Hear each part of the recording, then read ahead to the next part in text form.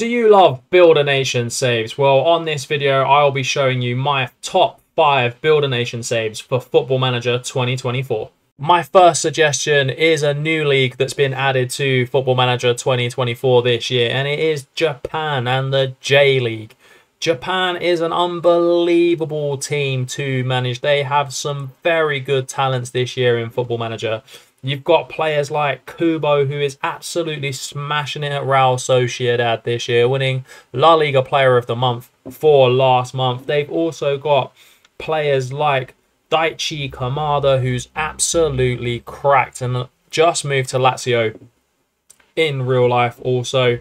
They've also got Mitoma, one of the best wingers in the world right now, and one of the best wingers on FM24, in my opinion. So the national team is absolutely stacked with players. We'll have a quick look at their squad. Their squad is insane. You've got Endo, who's just moved to Liverpool as well and is captain of the Japanese national side. You've also got players like Minamino and, if you're a Celtic fan, Maeda and Furuhashi.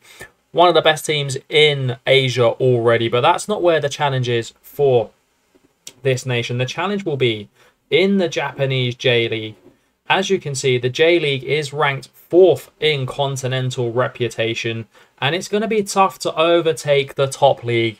As you know it, the Saudi Premier League is one of the best leagues in the world at the moment in terms of transfer budgets and players they're attracting to the league. Can you bring the Japanese league all the way to being the best league in Asia?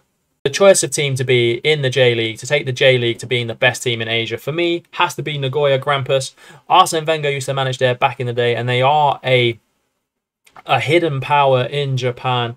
They've got some great players in the squad. I won't make out like I watch Grampus 8 every week, but there are a few players here that I do know. Langerak, the old Australian goalkeeper, is a very, very good goalkeeper for the J League, in my opinion.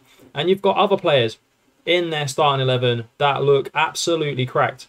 Nagai, another old experienced Japanese international up front. Can you take Grampus 8 to being the best team in Asia and the J League to being the best team in Asia, as well as winning the World Cup with Japan? What an exciting challenge this is. Let me know in the comments below if you are going to take on this challenge. And if you've made it this far into the video, please do like and subscribe to the channel. It means we can keep making content like this. Next up on my list is one of the smallest nations in the world. It is the rock that is Gibraltar. They are ranked 202nd in the world, and it is very much a non-league type save. I mean that with the greatest respect. They do have teams that qualify for the early stages of the Champions League, but the quality of football out there is not the best given the population size that they do have of only 33,000 people. I've been to Gibraltar, it's very nice, but it's also very, very small at the same time. Can you take Gibraltar all the way to winning the Euros, to winning the World Cup? Can you make Gibraltar one of the best teams in the world? Getting them to the top 100 in the world ranking is going to be tough enough. We'll take a little look at the key players in their squad that you have to start off with. 40-year-old centre-back playing for Lincoln GIB. I uh, like I said, it is Vanarama National League level and beyond. He's got he's an experienced international and will be fine in the first couple of seasons as manager there. Another experienced international in League Haskuyaro. Uh, I'm going to ruin these names, lads. It's a theme on the channel. Don't worry about it. Looks okay for this sort of level as well. And if we take one final look at a player, it's all experience for the Gibraltar national team. Can you build up their youth teams and bring them on to being one of the best teams in the world? This is an unbelievable challenge and a challenge that I'm going to be excited to take on at some point in this FM. The Gibraltars League is 114th ranked in Europe and it is going to be a long way up to push it into the top 100 leagues and beyond. I mean, you've got to overtake the Premier League with a league that just has 11 teams and 33k worth of people on the island. It is an unbelievably tough challenge and the toughest Build a Nation challenge you can do in the main game, in my opinion. Now, what team should you be? The choice really is up to you, but one of the best teams in Gibraltar is Lincoln GIB. They've got a lot of the Gibraltar's national team players playing for them, and they're going to be the easiest one if you want to do it. But if you fancy a little bit of a challenge, then pick someone else. Maybe pick Glacis United. They could be one of the teams you could take forward and I look forward to taking this challenge at some point in FM24. Let me know in the comments below if you're going to try this. This is an insane challenge.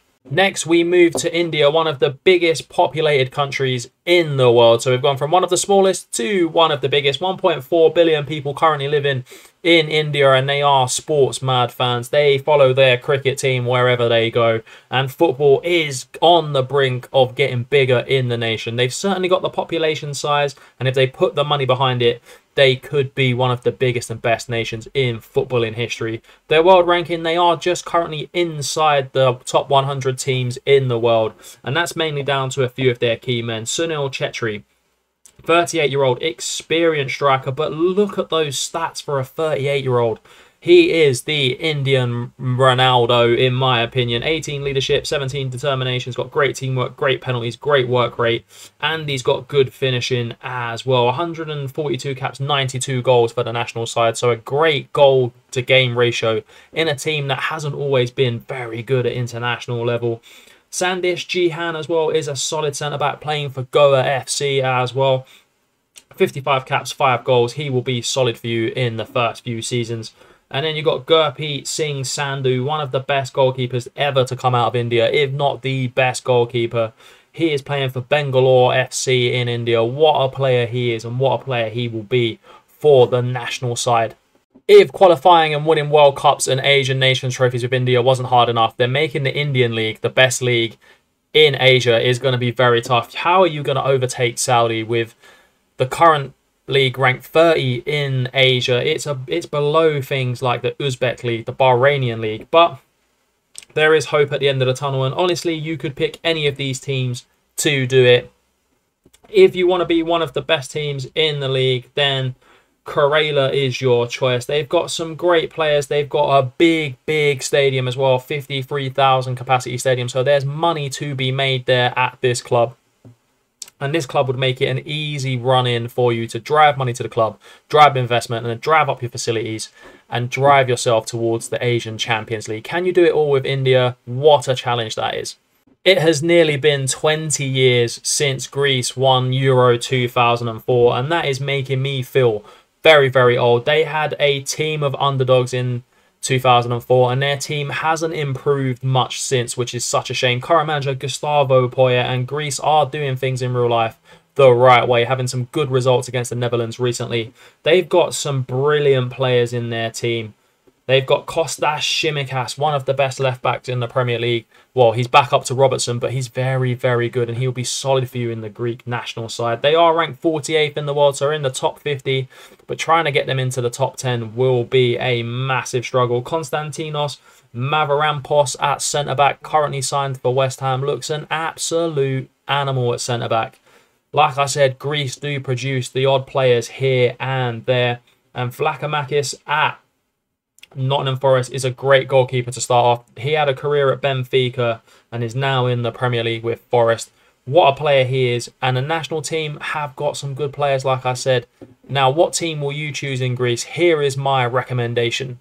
I am going for PAOK, one of the big teams in Greece, but not one of the ones that always win the Greek league. And they start off with a very decent squad with some great players like William Troost Ekong, the old Watford centre back. Can you revive his career in the Greek league? Experienced Nigerian international at centre back.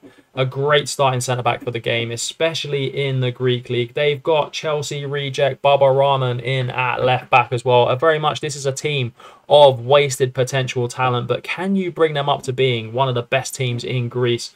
To finish it off, their forward line is stacked with talent. Zivkovic, can you revive his career? The mercurial talent, once touted to be one of the best wingers in the world during his career, hasn't quite taken off, but can you be the man or woman that does this for him? And then one of my favourite wonder kids in football manager history is Kirill Despotovs. I have a soft spot for Bulgarians, and this guy is absolutely class. Will you win the Champions League with the Greek with the Greek side, and will you take the Greek league to being the best league in Europe. Currently ranked 21st. Can you get it into the top 10 as your first long-term objective and then moving it up to becoming the best league in Europe? Last but not least is Uruguay. And they are currently ranked 16th in the world and one of the best teams in world football. They've got stacked talent like Ronald Araujo at Barcelona, one of the best defenders on the game. And their new generation of talent is also backed up by players like Fede Valverde, one of the best central midfield players in the game, playing for Real Madrid. There is a mix of young and old in this squad. Cavani is still going at Boca Juniors and still looks very good for 36, but he won't be a long stay in the national side. Uruguay last won the World Cup in the 1950s. Can you bring them the World Cup glory? It's going to be a tough one. There are big teams like France, Netherlands, England to beat, but with the squad that's got Araujo and Valverde, as alongside players like Lucas Torreira, you definitely stand a chance, especially when Uruguay do produce so many good young players on the world stage. Can you take the Uruguayan league from being the sixth best league in South America to the number one? And it's below leagues like Ecuador and Paraguay and Colombia. So you've got a lot of work to be done in the first instance.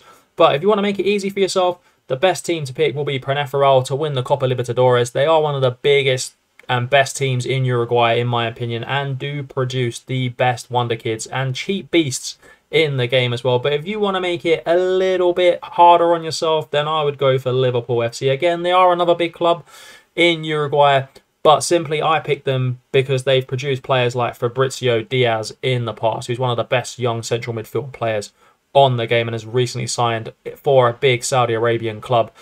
Let me know what of these top five Build a Nation challenges you will take on in the comments below. And if you want to see me take any on, and I will see you on the next saves video.